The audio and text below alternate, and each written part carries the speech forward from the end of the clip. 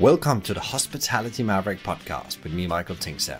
We at Hospitality Mavericks are here to inspire leaders to create heart-centered and profitable businesses from the inside out, the kind that both employees and customers love and support.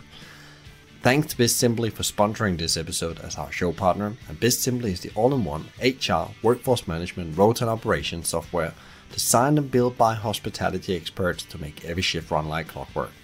And we join forces to help the industry find new ways to become even more innovative in how we lead our people, how we operate, to how we grow our businesses, to how we serve our customers. Together, we want to share strategies and tools that can make the industry thrive long term, not just survive. the foundation of anything that you do should be okay, I have this unique belief of the world, and I believe that I can create something that will help promulgate that belief, whatever the thing that is that you're going to do. And if you have a very clear vision and you can get people behind that vision, well, then that's a machine, right? And then you just need to figure out, okay, how am I going to monetize it? The monetizing for me, I, I believe, you know, becomes second because if you have a vision and you have a vision that people can get behind, that means that people are, can get behind it this is Josh Sharkey, founder and CEO at Meez, which is a recipe tool for professional chefs. It helps operators organize their costing, automate nutrition and allergen information, and give an online training option to help operators to ensure strong standards, productivity, and ultimately better profitability on the menus. Just as a background as a trained chef in high-end restaurants operating his own restaurants as well as being the chief operating officer for multi-brand restaurant operation in New York.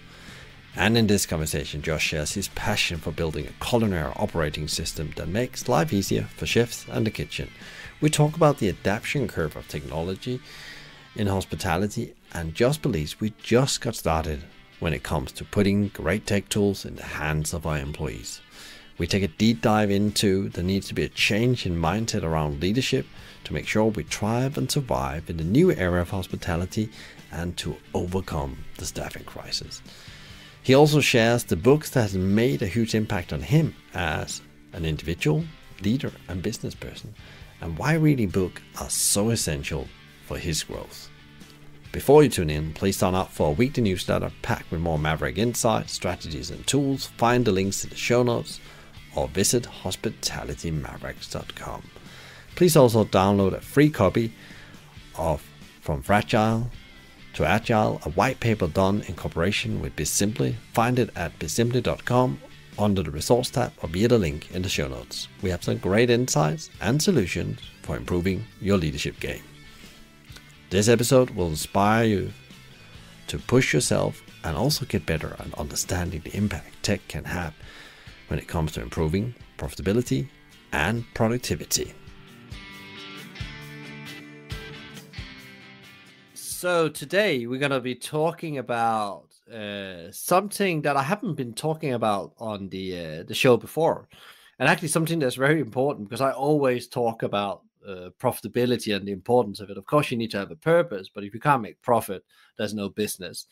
And and when it comes to hospitality, you know, there's a, there's a lot of money running through your kitchen, and there's a lot of challenges in your kitchen now, and uh, recently I uh, met a, a, person that has created a tool to help with that. Not only creating, you know, help with creating profitability in the kitchen, but also maybe get a bit of an overview so you make better leadership decisions in your kitchen. So it, it's it's a great honor to uh, have you on the show today, Josh where we're going to be talking about tech, kitchens, hospitality, and you know, and your journey and what made you build a, a platform that can help both chefs and restaurant operators. Well, it's an honor to be here, Michael.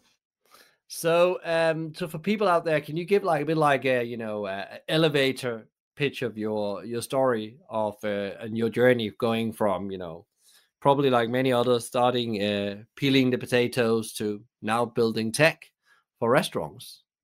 Yeah, sure. I mean, well, you know, I was I was and I still consider myself you know a chef. This is what I did for most of my life um, for 15 plus years. And then, uh, you know, the upper echelon of fine dining in, in, in New York City and overseas so, for some of the most incredible chefs in the world that were are what were and still are uh, some of the biggest inspirations for me. Uh, and then I became, you know, a restaurant owner and operator uh, in New York City as well. Um, and then throughout that time, you know, uh, and we can sort of get into the details of it. Um, you know, slowly we're sort of realizing like, hey, there's this thing missing for us. Um, and um, you know, after about eight years of running a number of restaurants that I that I started in, in, in New York, I decided um, that I couldn't. I had to scratch this itch, um, and I divested from you know from running the restaurants and focused fully on building this new product, which we're talking about today, which is Meez. What does uh, this platform do? Because it, it, seems very simple what it does. It, it's you would think, why why haven't anyone really sort of thought about this before? I've seen similar thing, but not so specifically solving uh, the problems you are solving in the kitchens. Yeah, absolutely.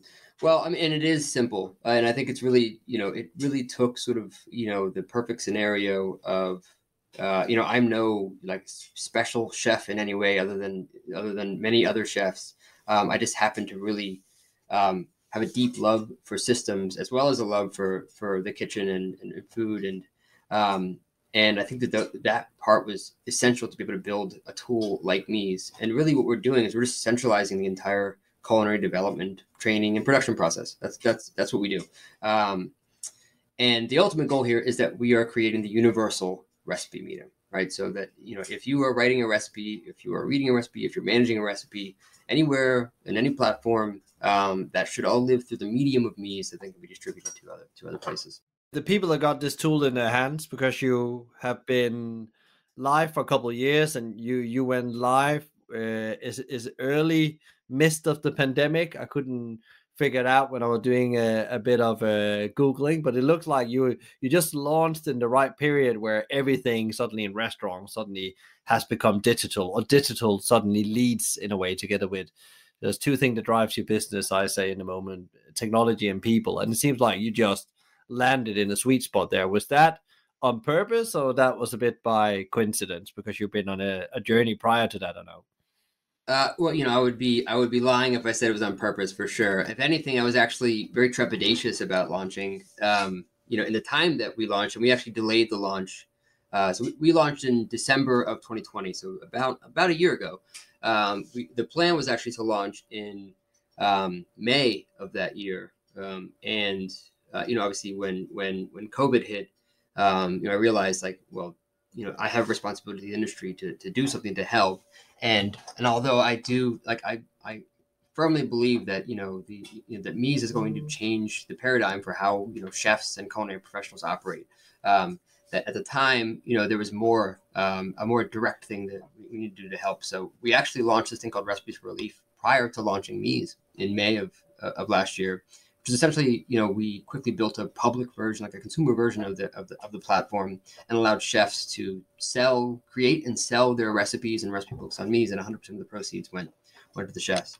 Um, so we did that for quite a while. I, I, I consciously, did, you know, made the decision that you know we're, we're not going to be a consumer company, you know, anytime soon. So let's, you know, I rather than bifurcating the company, I, I, I decided to just focused on on on you know on culinary professionals, and so we launched to the public in December of 2020. Um, so again, like a, about a year ago, and it's been you know really really fast growth ever since. And I think the one thing I didn't predict, I always you know we we've been building this product for long before we launched, and we're building it within the ecosystem of the restaurants I was running, as well as you know with a number of chefs in my network, you know across the country you know, beta testing and making sure that we were building the right product. And so I was pretty confident that we had something really special. The one thing I didn't plan for because of the pandemic is this proliferation of, of, of like these prosumers uh, and, and and chefs that were um, you know starting their own businesses independently from restaurants. You know, just starting their own food businesses, whether it's a delivery business or a meal kit company or a, a food business. You know, themselves. And uh, it turns out Meez is perfect for that um, because we, you know, among all the things that you can do within Meez, obviously you can get really, really accurate food costs, more more so than probably any platform that exists, uh, and nutrition analysis and things like that, all in a way that just is very easy to do. Um, and the platform is not expensive, you know, comparative to sort of an ERP system or back office system that might be, you know, 300 bucks or something a month um, uh, with a lot of setup. And, you know, individuals starting their own company, they're clearly not going to do that, may never do that. And so we were lucky in that there was this proliferation of that that sort of you know uh, segment of, of of the world that just started building their own business, which is so cool. Um, you know, we just we're helping to empower all these all these individuals to um, you, you know to help them run their business. So when uh, you saw this quick adaptation of this tool, because you're, you're, you're definitely solving a problem people had, what what kind of things is this doing for people? How is this you know impacting their profitability? Do you know that? Have you looked into that as you you rolled it out? Yeah, yeah, we have some really interesting metrics around how we're able to sort of reduce uh, food and labor costs significantly. Um, I always, you know, it's tough for me because I think about this as a tool for our craft first, and then you know, finance, equity finance is obviously really, really important. And I think that you know the way that um, the way that Meez is most um, effective is that it's actually impacting um, the economics of your business as opposed to a tool that will show you the economics of your business. I think that you know most people are building software uh, so that you can see the best reports and and and see your theoretical food costs and see your all these things, which is imperative. That, that that's very important. But um, first of all, that information needs to be accurate. Um, and uh, you need to be able to understand how can you impact it, right? How can you um, how can you make more money? How can you save money? And that's what Meez does, right? So the output of, of the reporting and things like that. Well, we we we don't, we don't do a ton of that. We actually connect with ERP systems and back office systems that uh, inventory systems that that help with that. And we focus on how do we help you know, you know operators and business owners and chefs like have an impact on that number, right? And so there's two there's well I would say there's three ways in which we do that, right? And, and the first one is um, in order to get a really, really accurate food cost and nutrition as well. There's, there's so much data that's needed uh, when you create a recipe, right? You have to know if I, you know, use a head of lettuce and I'm going to use a half a cup of shredded lettuce, you know, how much does that head of lettuce weigh because I'm buying by the head and how much do I lose when I take the core out and how much does that cup weigh when I use it in a recipe? And then all of that information for every single ingredient, you know, if I'm taking just the leaves off of mint, how much do I lose? All of that impacts your cost significantly. And if you don't have all that information, then your food cost won't be right. So first of all, we built all of that into the system, and we're constantly adding more. Right. So we have chefs and teams that I've had, I've I've had over the past five years. have been building all this data into the system, so that you don't have to do any of that work. We basically remove all that work for you. So all you do is you put in your recipe, and then we'll make sure that the cost you just put in how much you spent and we'll make sure that that cost is right. We'll make sure that the allergens are there. You don't have to do that. We'll make sure the nutrition is there. And so make it really easy to get the information in. Make a beautiful platform that's easy to use so that they actually use it. Because if you don't use it, it doesn't matter anyways, right? And by doing both of those things, the output becomes that we then have tools to show you the levers that you can take to you know reduce the theoretical cost of a, of a recipe item or a menu item or of a menu that's what matters, right? You know, I've run, you know, lots of restaurants and owned lots of restaurants and, you know, everything from restaurants that had a, you know, um, annual revenue of a million dollars to restaurant groups that had 150 million dollars in run rate. And what I can tell you is the problems are the same, right? Is that, you know, yes, we need to waste less, but ultimately, if you can lower the theoretical food cost of your menu without affecting quality, uh, meaning like if your food cost right now, if you operated perfectly and wasted nothing, was 28%. And on average, most people like waste about two points of, of product. Um, you know, then okay, you have a 30% food cost, and that's and that's you know not great, but you know that's that's pretty average, right?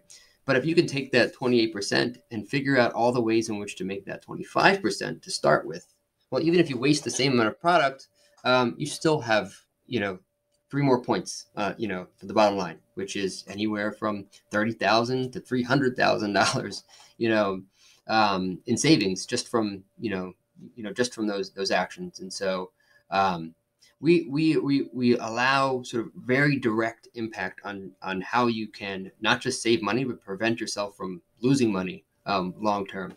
And so that's a big part of the product. The other part I would say is just um, you know recipes in, encompass so many so many different sort of tentacles right? You have when you have a recipe you have the cost of the recipe and you have the nutrition of the recipe and you have you know how do you make this recipe and where should this recipe live? And who should have access to the recipe and how do you track the changes of this recipe and how do you share this recipe and how do you distribute the information from this recipe to other places? All that happens in in, in many disparate you know systems right now. And so by centralizing it we are you know reducing uh, significantly the amount of labor and, and time and people that it takes, you know, to manage all this content. Um, and we make training just way easier, right? Like you're typically what happens with training is either there's it's non-existent, or maybe you have an LMS system with like long videos, or maybe you have like printouts on a PDF. And in Meez, we sort of we, we actually like t- like hired some training experts to help us understand how do you how do people ingest information best, right? And it's typically not long videos; it's very short increments of information. And so we just built it into the product so that every single step of a recipe can have its own, you know, picture or video, and that becomes a slideshow that you can swipe through, like you know, almost like Instagram, um, so that people can understand and pick up this information, you know, really quickly. So ultimately, you know, saving cost, you know, uh, saving, um, you know, both food cost and labor cost, and and making sure that you're executing far more consistently than you would, you know, without without the product. The one thing I was thinking about as I uh, looked at the, the product on your website and also talked with you a couple of times, and now what you just told me now is also that the ability to set the standards of the quality of the food is much better when you can design and plan it to excellence from the outset. Because often, as you say, it's a spreadsheet or it's a piece of paper, there's information in, and nobody suddenly they can't find it. It's not in that folder, or somebody deleted it, or the paper did never arrive. Uh, and I think that I guess that's also quite interesting. I guess uh, from what I look from the website, it's not only uh, independent operators, individual restaurants, it's also chains that's adapting this tool because they can roll out thing in a different speed suddenly. Yeah, absolutely. We and we built when we originally built Meez, we actually you know some of our beta customers were large large chains. Um, in addition to sort of the the fine dining restaurants, because you know, one of the pain points that that that I um, encountered when running, I was running this restaurant called Orify Brands in New York. Um, um, you know, as chief operating officer there, and we we would um, I would help to create menus and also process and systems, and it would take us, you know, originally would take us nine months, you know, to roll out a menu item across all the locations of a brand, um, and you would have to sort of send out new materials, get rid of the old materials, you know, have go to each location and train individually on each process you know change out all the order guides and you know get new specs on all the things and train everybody where to store everything and um, you know make sure that like all the old recipes were gone so they didn't make those on accident. And it was a lot of work. And then of course updating all the systems that have these recipes their back office systems and and, and things like that. And you know now it used to take nine months to roll out a menu. It literally takes a week um, across the entire like you know organization uh, because everybody you know Meez is embedded in the operation. Everybody knows how to use it, and so really you can just distribute this content in real time. If everyone is updated, everybody sees the updated um, you know recipes, and so for a fast casual group or something like that, it's it's really powerful because um, you know whereas maybe 20 years ago um, the like the marker of of of quality and success was simply consistency, right? Like, can you create a consistent product? But now, like consumers are like a lot more educated. They expect more, and you can't just be consistent. You have to be consistent and innovative. You know, you have to you have to be able to create new menu items all the time, um, and they can't be cookie cutter. They can't be commoditized. They have to be good. Um, and um, and you know the the whole premise of a lot of what I try to do, you know, in my in my career was like how do you scale really good food? And I think a, lot of what the product helps to do is is to do that. And it's also interesting uh, as you know the, the, the, challenges we have in the world with supply chains and so on. That suddenly you could be standing with a challenge from one week to the other. There's a number of your items that needs to be changed, the ingredients in there, because first of all, maybe from a cost point of view, but maybe also just they can't arrive. It's not going to arrive that ingredient, so we need to change it. We need to maybe take a menu item off, roll a new one in. And I guess also you have a lot of new people coming into your business right now in hospitality.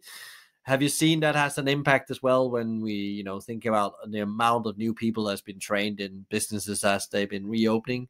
Has the tool helped them as well? Oh, 100%. I mean, it's it's um, you know, the the the cost to train and onboard onboard a new employee um, is I think is very often uh, underestimated. I think people, you know, clearly understand a lot more nowadays. But um, you know, bringing bringing on an employee is, is you know costs a lot of money. You have to you have to train them on you know on your culture and your organization and where does everything live and on top of like how do you do these things um, and uh, you know now with the way that the product is set up is you know because it's so easy to use you can literally hand off only the things that they need to see and in real time as they um, as they're learning these things they can see and interact with this product to, to make sure they're learning the right thing. I'm always a big proponent of just in time information as opposed to just in case information right? And typically training happens is happens as just in case right? You go home you read this long thing you watch this long video and then you go back and you hope that you remembered some of it right? And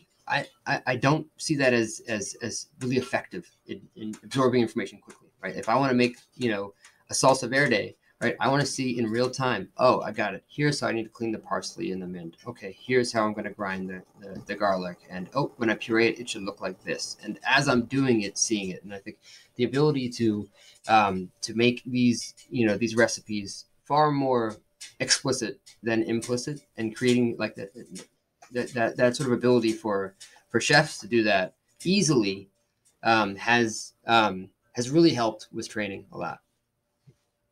Uh, that's super interesting, uh, Josh. Uh, what about like technology? We go up in the helicopter in general because technology has really advanced and really there's a lot of it hitting the customer side during the pandemic. And there's been some in the employee side, but there's always been this unbalance of things about how digitalized a restaurant are in the front of house and the back of house.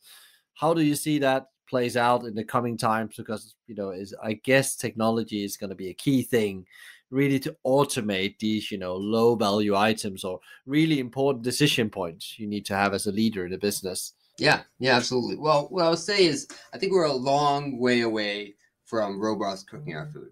That's for sure. Um, but uh, could can some of it get there? Maybe you know as a chef it, it's a little bit sort of you know disheartening to, to think about like that. Um, you know but at the end of the day yes all of this is formulaic the Brix level the salt level all those things can be you know we have to grab a peach and understand how sweet that peach is if we're making a mostarda um, to adjust the recipe. Whereas i would assume that a robot that can read the Brix level at that time would in real time adjust the recipe and and and make it better. I think that there's there's a lot of opportunity there. What I would say is the the food industry is only at the very very beginning of the the adoption life cycle of technology. So there's a lot more to come, and um, I think that the you know the the the price to value is going to take a long time to you know to to really sort of like um, meet right where like where the, the idea of a restaurant that's able to afford to do that because first of all you need to change your entire operation. Likely what you need to do is you know build from scratch if you're thinking about like automated you know processes. Um, so you know there's money in that already. So like th- there's going to be a, there's a there's a long time before i see that actually having a big impact on the industry. It will happen. I my i i'm pretty sure that it will happen eventually.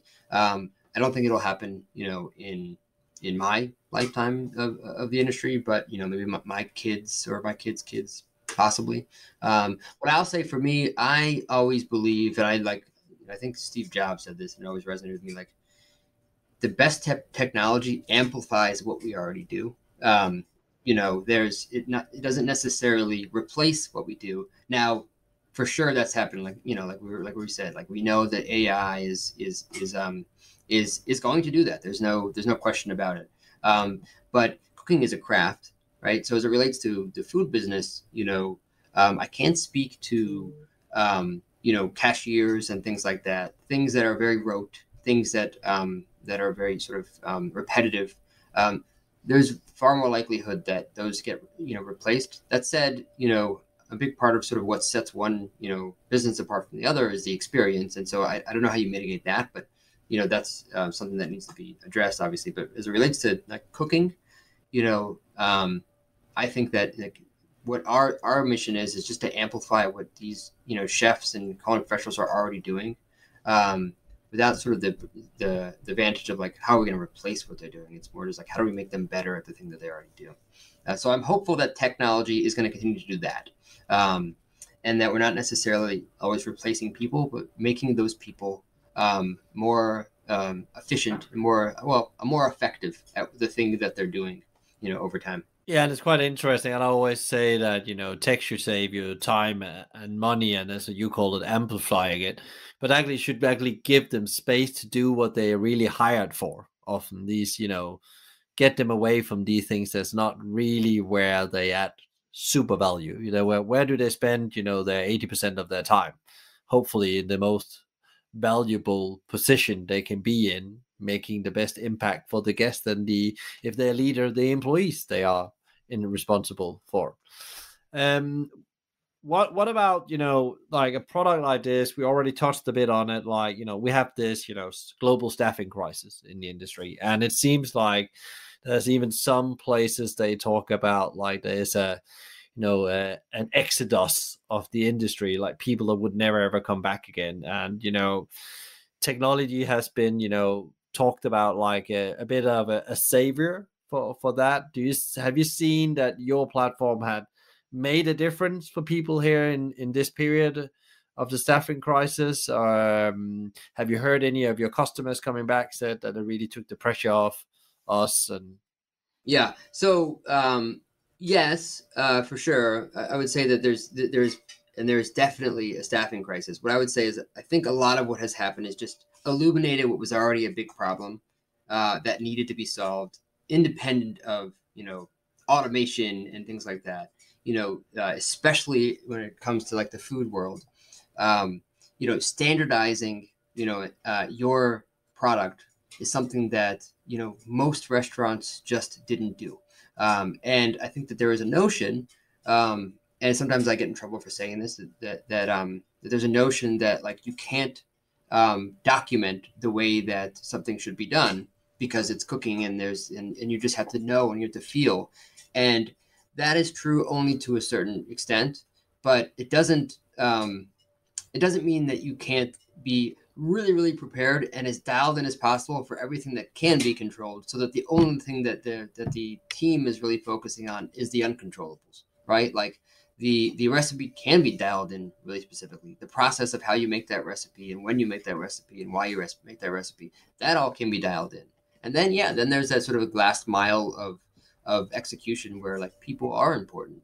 Um, but um, you know i think this staffing crisis is really my my hope is it's really just sort of you know a, a new temperature check of like hey it didn't work before and so that means that like we lost a lot of you know people out of the industry um, but i think that they'll come back as restaurants you know the, the, as the right restaurants are setting the right example of like yep, we need to take better care of our of our employees and and it's a cultural shift. You know, I don't think that what this means is like now everything's going to be automated and it's going to be all robots. I think that it's going to force a culture shift because the culture in the in in the restaurant business, you know, just re- required one. You know, I come from the older school background of kitchens where everybody worked 100 hours and you worked doubles and you know there was no it was all shifts and you know and um, and well, you know, I I still loved that, um, but it is certainly not a way to have a life and have like quality of life or you know a life outside of the restaurant. And you know, I think any incredible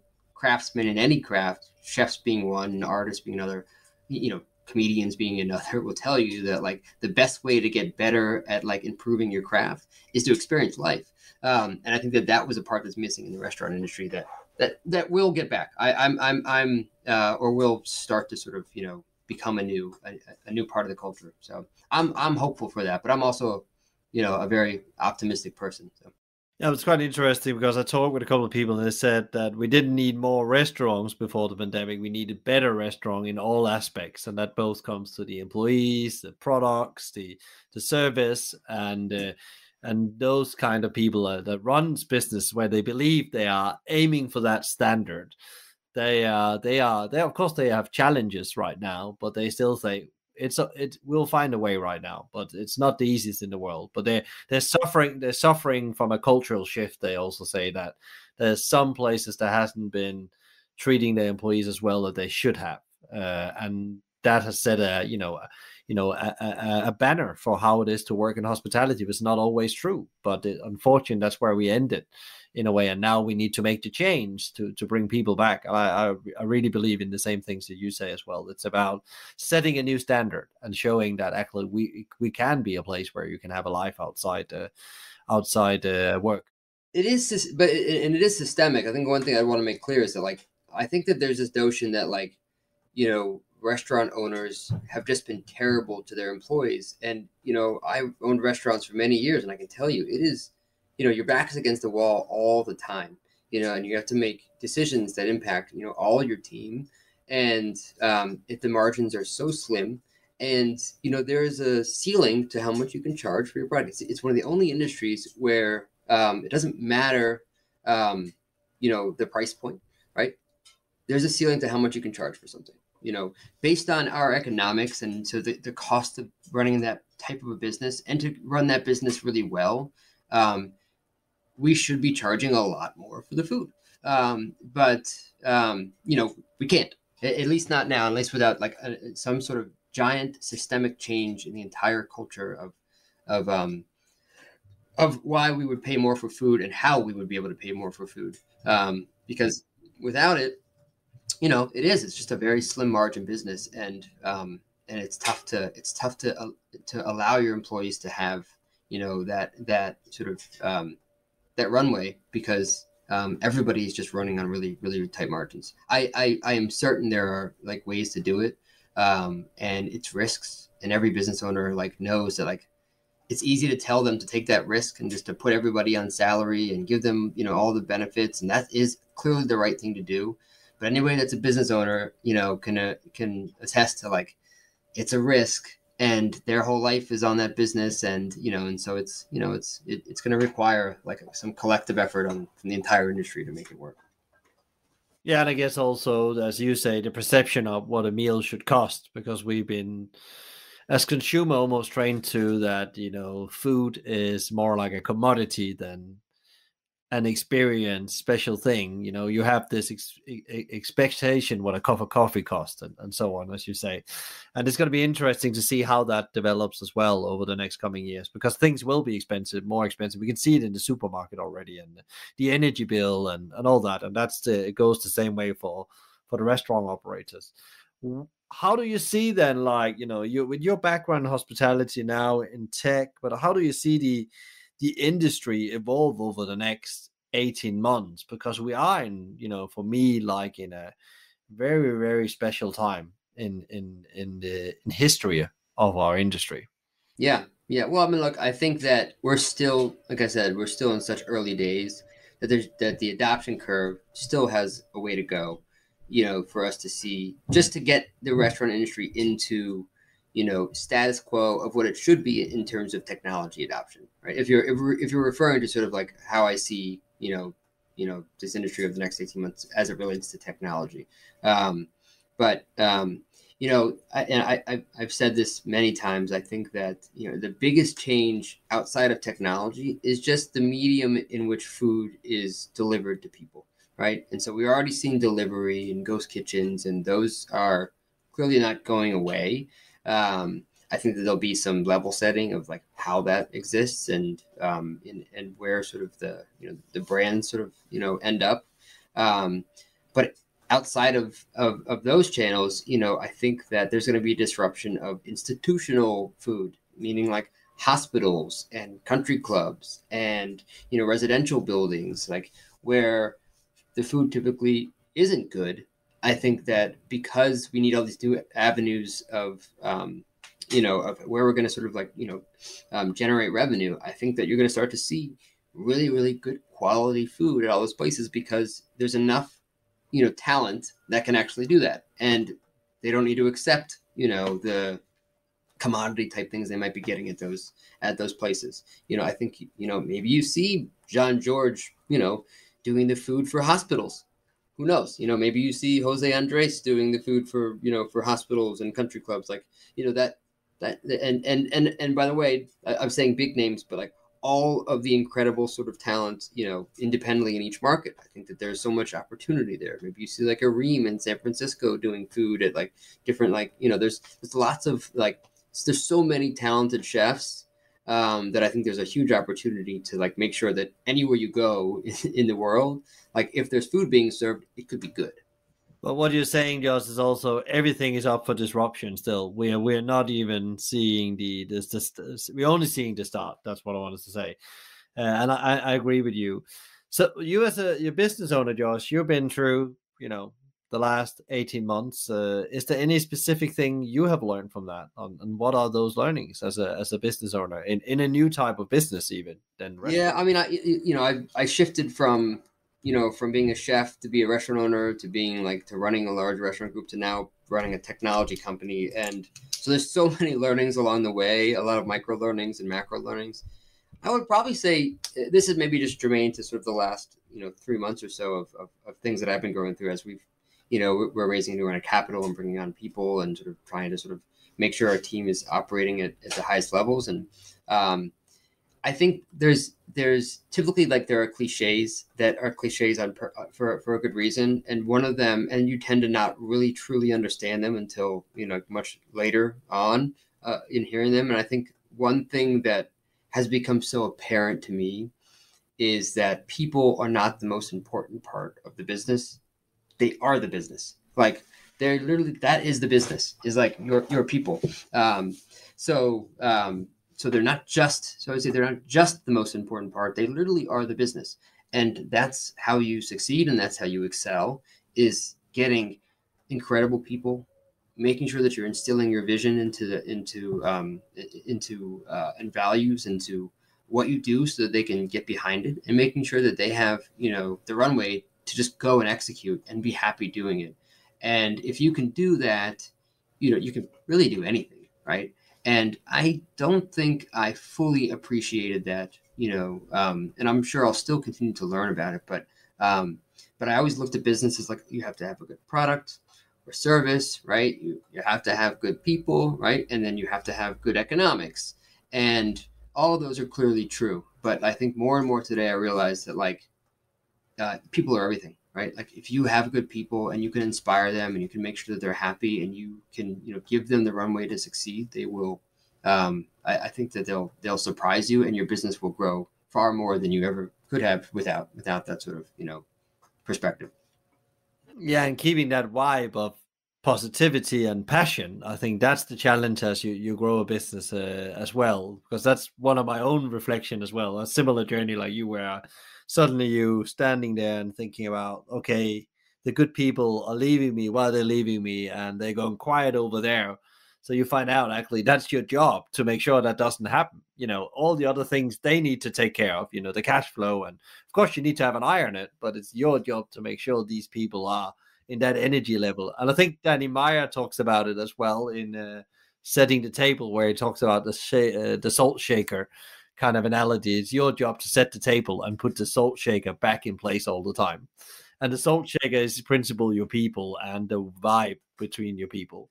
Hundred percent. Yeah, I, am a big proponent of first principle thinking, and every every team member at Meez, uh, the first thing they see is is our first principles because you know for me, I believe like you can't have autonomous thought and and make decisions unless you everybody is sort of collectively you know believing in the same things and can make decisions, and because of that, they're able to make mistakes, and I'm okay with it as long as they're you know abiding by our first principles. The number one being operational empathy, um, and that's that really is the bedrock of, of what we do.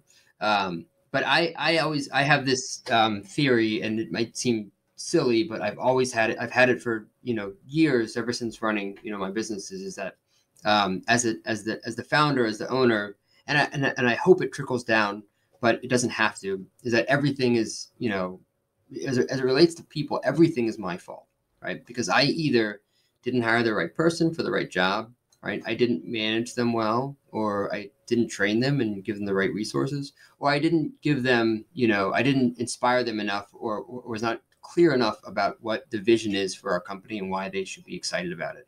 And if one of those four things is always the reason why, you know, people will make a mistake, and it's almost never directly their fault. People are not bad people right? And they might not be in the right role. They might not have the right tools to do what they need to do. Um, they might react to things, you know, um, they might be better with aggression than, you know, being soft. And you need to know that or, or vice versa. or they might just not know why they're doing what they're doing.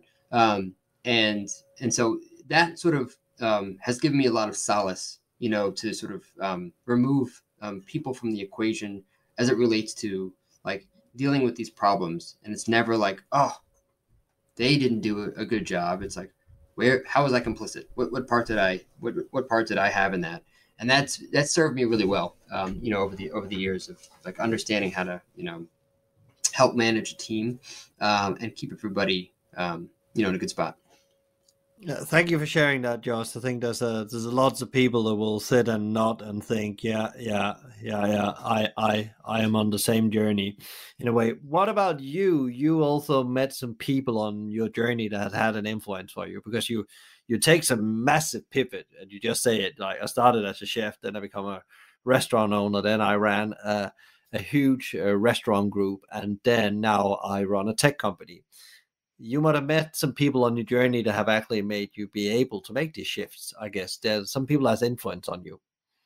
Uh, yeah, I mean, there's there's a lot. You know, it, it you know, oddly enough, I think the majority of the of the influence came early on with the chefs that I worked for, uh, with Gray Kunz and Floyd Cardoz and even you know David Bouley. Like the the the, the the, the, the lessons learned there that were ap- applicable to, to, to life. You know, it's it's it's pretty incredible how well sort of being a cook um, translates into being a business owner and operator.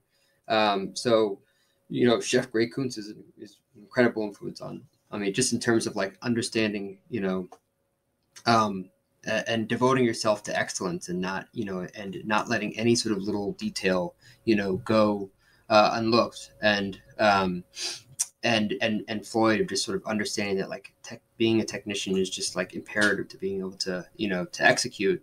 Um, outside of the chefs that I work for, and there's lots of lessons I learned from them. You know, I I read a lot of books, um, and so I would I would say that um, you know a lot of the inspiration because I don't come from I don't come from the startup world. I don't come from the tech world. I don't come from you know even the entrepreneurial world really i come from I, my whole life i've been since i was 16 i was cooking in restaurants and that's all i ever did you know.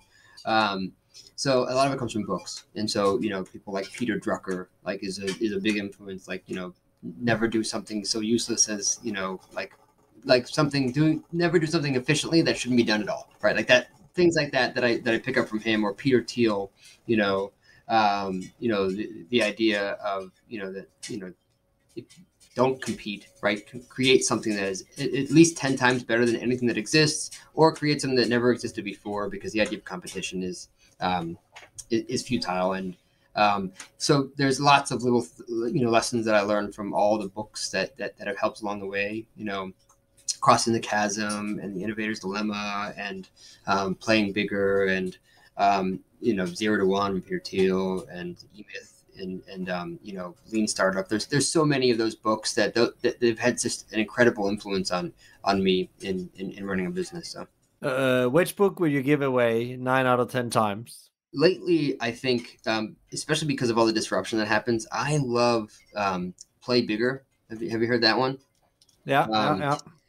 Um, so I, I, actually gift that book a lot um, because uh, I think especially now um, it's just uh, um, you know, it, it, the, the premise of the book is uh, is category creation. So, um, whereas you know something like Crossing the Chasm, which is also an incredible book if you're going to be a you know you know in a startup, just understanding sort of like who are the the early adopters, and then who's the you know um, uh, getting through to the majority that that, that would use your product.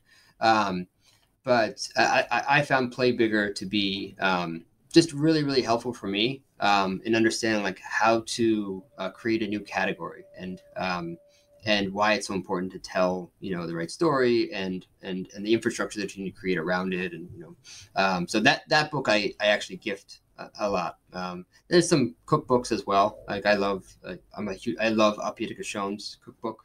Just visually it's incredible and it's also Au Pied de Cochon is a is a restaurant in, in Montreal. And um, they they uh, they created this incredible cookbook that visually is just so stunning and also has incredible recipes. Um, so I love that one, and and um, uh, and and there's a bunch of other cookbooks that I love. But you know, as it relates to like you know books that, that you know that you would read, I think Play Bigger is one that I've, I've been gifting a lot lately. Yeah, we will put uh, as many of these books in the, the show notes for people out there uh, as you're listening. So, uh, how do you uh, show up pro every day? Because you are running, have always been running fast moving businesses. So, how do you actually show up so you're in the impact zone? So, you are the best version of yourself? Oh, my goodness. You know, it's funny.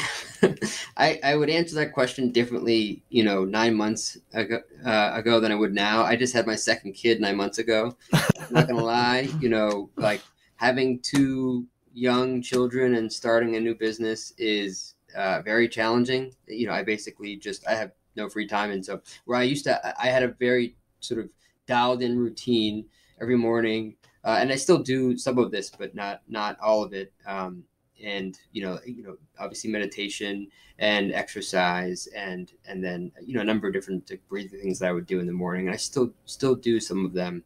Um, I think that you know one thing that I always um, try to um, try to do with any sort of like habit to help me to help me you know in, in the day is like the best things are things that you can do consistently all the time. Not necessarily something that you can do like you know doing a thousand push-ups right is great.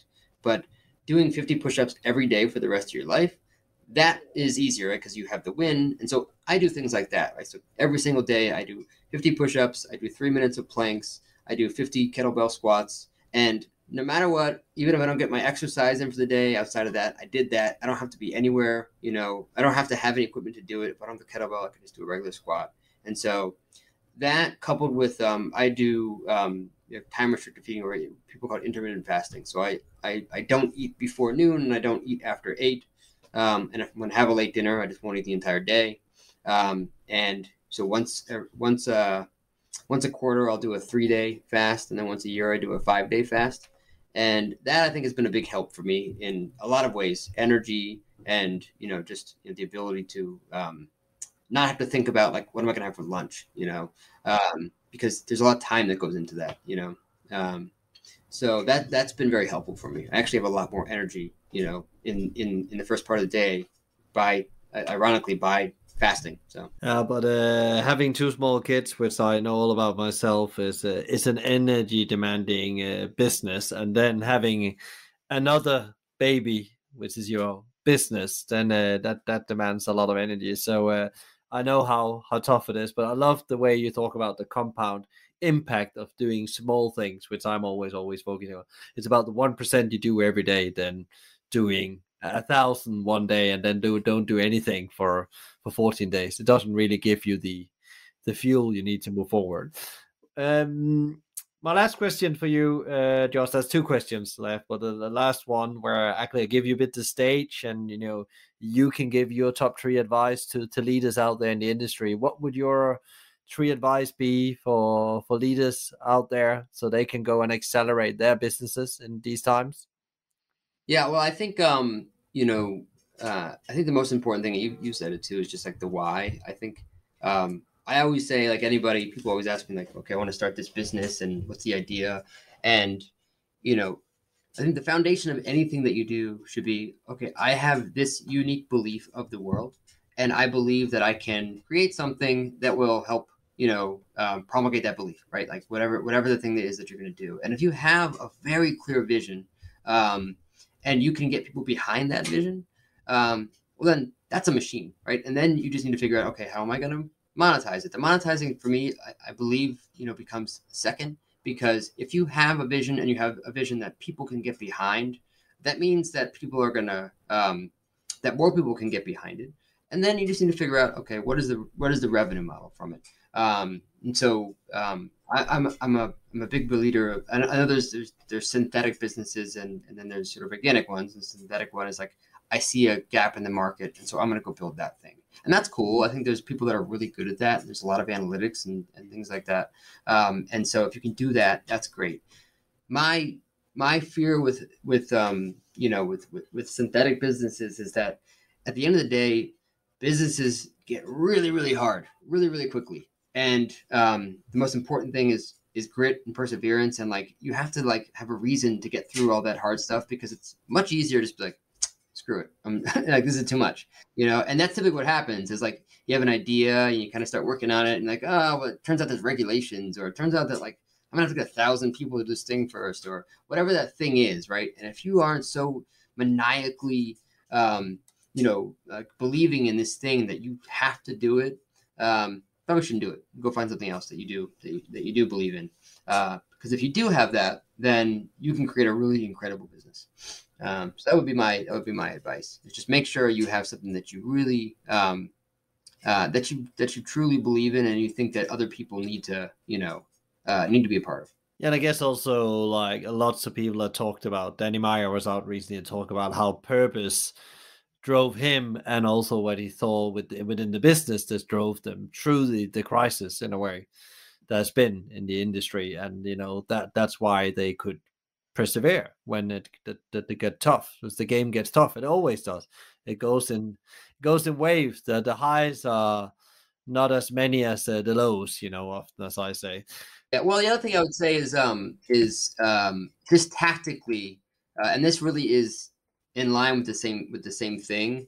But I'm a I'm a big proponent of the OKR process. Um, and you know everybody should probably measure like read measure what matters by by by john doerr um, if you're going to start a business and um, um, and if you and and by the way the the the okr process is is really hard to get right and it takes time and effort right because you really have to distill down what is it that really matters that we that we're going to measure? Like what do we believe in? What's our objective? What's the big thing that we're going to do?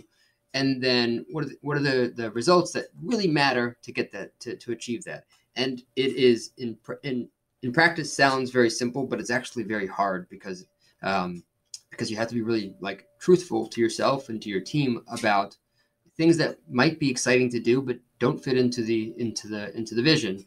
Um, but if you can really crystallize uh, um, you know a powerful okr process within your organization um, it is one of the best ways, you know, to create focus and prioritization and and and see actual results results o- over time. So um, I'm a big proponent of the OKR process. I, I will say, like, if you have a startup, I think that there is a time where it's too early to do an to, to, to do an OKR process where you where you um um, you may not even know um, what the key results should be yet, right? You you know the objective, but you're still doing testing. You're still in that sort of like you know, uh, value hacking, you know, phase of the business where OKRs might not actually be, um, you know, effective for you yet, and they might take away time.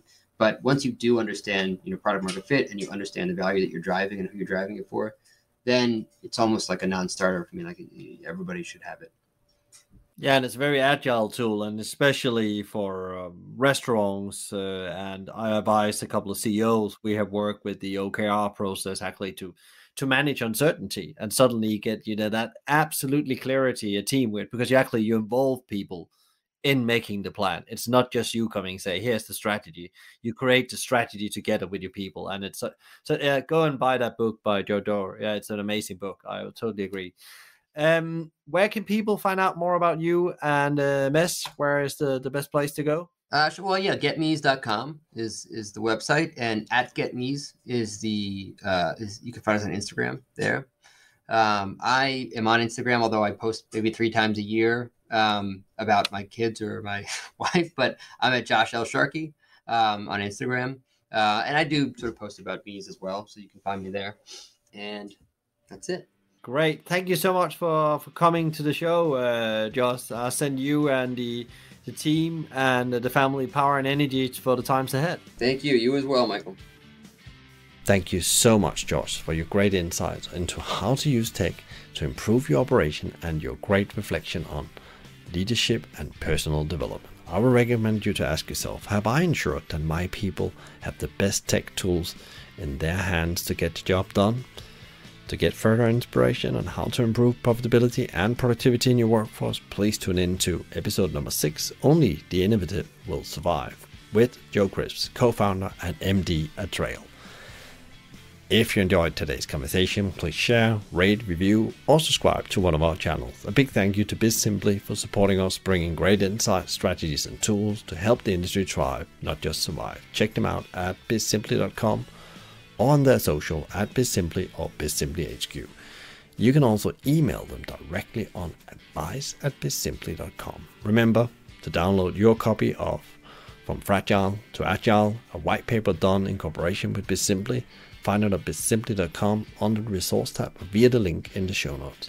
We have some great insights and solutions to improve your leadership game. A big thank you to Fina Charlton, the show producer and editor from the podcast collective. Tune in next time for another interview, and in the meantime, find out more about us, subscribe to the newsletter, and download free leadership tools at hospitalitymavericks.com. And don't worry if you didn't get all of this, there will be links in the show notes. From all of us here at Hospitality Maverick, we wish you a happy new year. And I'm Michael Tingsager, and you've been listening to the Hospitality Maverick podcast. Be Maverick.